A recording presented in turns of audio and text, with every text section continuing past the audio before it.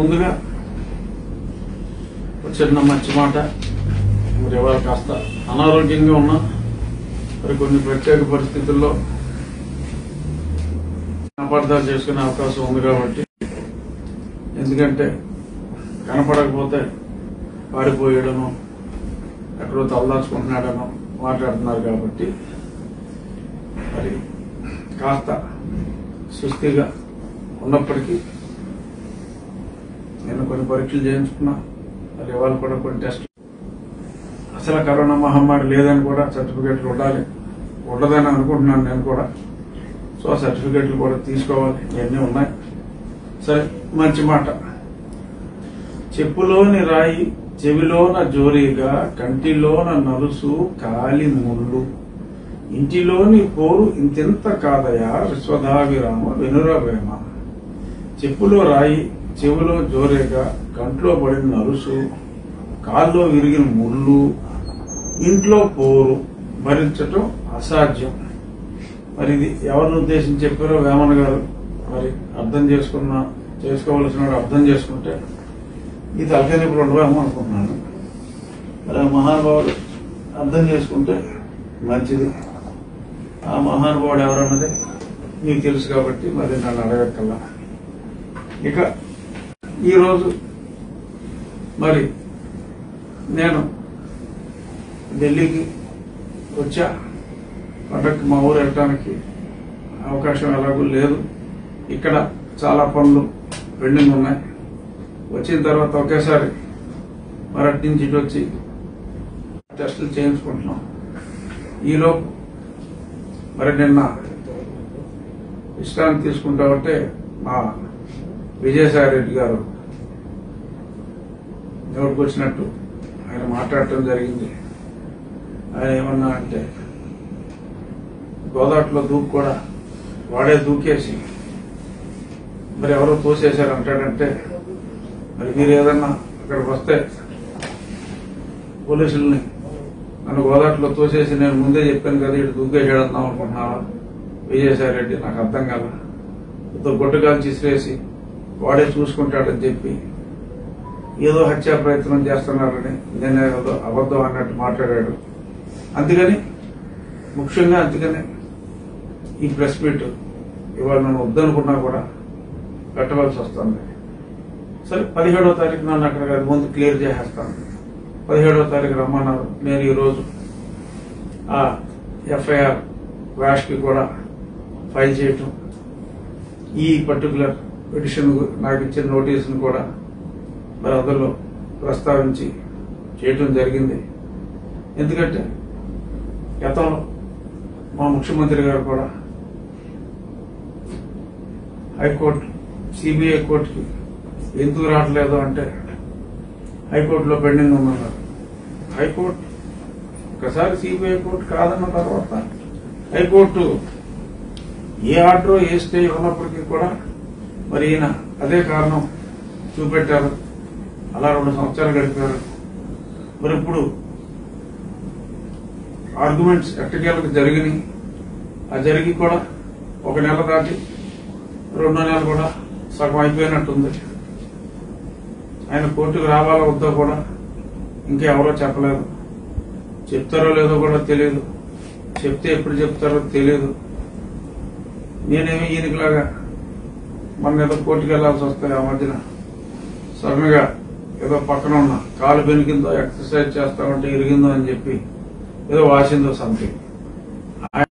మన మణిపాల్ హాస్పిటల్కి వెళ్ళి చిరునవ్వుతో వెనక్కి వచ్చారు నేనేమి అలాగా అలాంటి ఎలిబీలు ఏమి పెట్టుకోవట్లా? ఎస్ కాస్త నలతగా ఉంది. పరీక్షలు చేయించుకోవాలి. చేయించుకుంటున్నాం. అలాగే కోర్టులో కూడా వేశాం.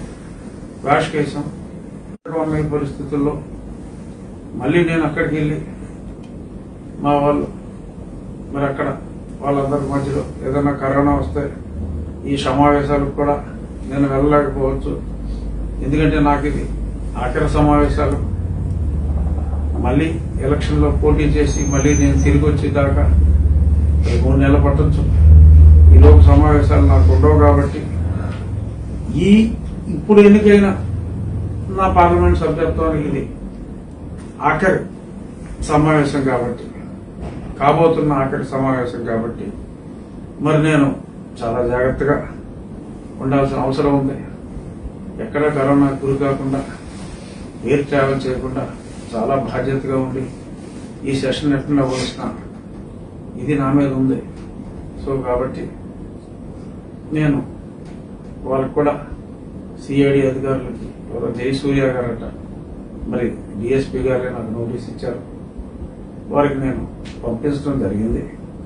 ఇక ముఖ్యంగా ఎవరైతే నాకు ఈ నోటీసు వెనక మూలకారకుడు అసలు కర్త కర్మ క్రియ ఎడుగురు సంధిని ధ్యానం మరి ఎదురుగా అందరికీ కనిపించే వ్యక్తిగత కక్షతో మరి ఇవన్నీ చే- చేస్తున్నాడు.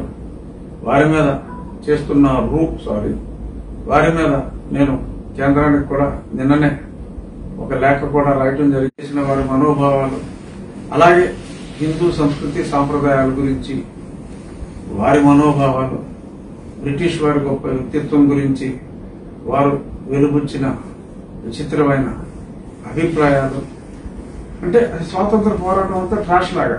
మన దేశానికి మనం అన్నం తింటున్నామన్నా మనం చదువుకుంటున్నామన్నా బ్రిటిష్ వారి వల్లనే జరిగింది.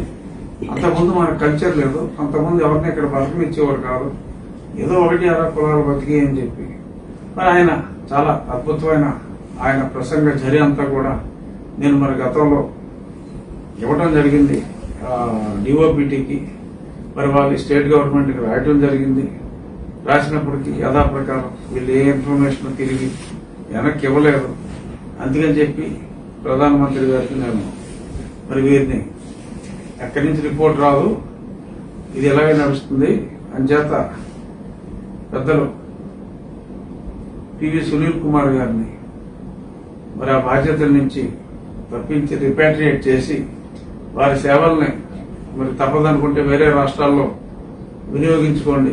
ప్రస్తుతానికి ఇక్కడ వారికి కక్ష కట్టి ముఖ్యమంత్రి గారు ఎవరి మీద కేసులు పెట్టమంటే మరి పూజ్యులు పెద్దలు వారి మీద కేసులు పెట్టేస్తున్నారు. ఎవరున్నారో కూడా చూసుకోకుండా బేస్లెస్ ఎలిగేషన్స్ కోర్టులో కొట్టేశారు. సాక్షాత్తు వ్యక్తిగత కక్షతో ఎప్పటి నుంచో రకరకాలుగా నీలాపనిందలు ప్రచారం చేస్తూ సాక్షాత్తు మీరు సుప్రీంకోర్టు చీఫ్ జస్టిస్ గారిని కూడా వదలలేరు ఏమాత్రం అబ్సల్యూట్ బేస్లెస్ ఎలిగేషన్స్ వారి కుమార్తెల మీద పెట్టారు ఈ ముఖ్యమంత్రి ప్రోద్బలంతో. ఇవన్నీ కూడా నేను ప్రధానమంత్రి గారికి తెలియజేసి దయచేసి ఈయన అద్భుతమైన పరిపాలన ఇతర రాష్ట్రాలకి అందించండి. కాసేపు ప్రజల్ని ప్రజాస్వామ్యాన్ని పరిరక్షించడం కోసం పాటుపడే ప్రజల్ని బ్రతికించండి అని చెప్పి నేను ప్రధాని గారికి నా లేఖలో తెలియజేయటం జరిగింది. అలాగే సమయం కూడా అడగటం జరిగింది. వస్తుంది. త్వరలో సమయం. Appointment sir? ప్రైమ్ మినిస్టర్ గారిని కూడా అడిగాను. అమిత్ షా గారిని కూడా అడిగాను. ఇది ఈ మధ్యలో అసలే ఎలాగో నేను టెస్టులకు వెళ్ళాలి ఈ లోపు అలపాదలపా దగ్గొస్తుంది మరి చలి ప్రభావం కావచ్చు. కరోనా లేదని అనుకుంటున్నాను ఆల్రెడీ ఒకసారి వచ్చింది కనుక. ఏమో అంబటి రాంబాబు గారికి మొన్న లంబాడి వారితో డాన్స్ చేశారు. ఆయన మూడోసారి వచ్చిందట. సో ఒకసారి వస్తే రాదన్న గ్యారంటీ అంబటి గారిని చూసి చార్జ్ షీట్ కూడా వేయటం జరిగింది. ఆ చార్జ్ షీట్ కాపీ కూడా నేను వారికి ఇచ్చాను. సో ఈ బ్యాక్గ్రౌండ్లో అది క్లాస్ చేయమని కూడా అడగటం జరిగింది. నేను నియమావళి ప్రకారం ఆ కన్సర్న్ డిఎస్పీ గారికి ఇన్ఫార్మ్ చేశాను. నేను చట్టాన్ని జీప్ రేస్ తిరుగుతున్నారు నాకు భయంగా ఉందని చెప్పి వెళ్ళాడు. ఇతను ఆల్రెడీ అరెస్ట్ చేసి బయట ఉన్నాడు.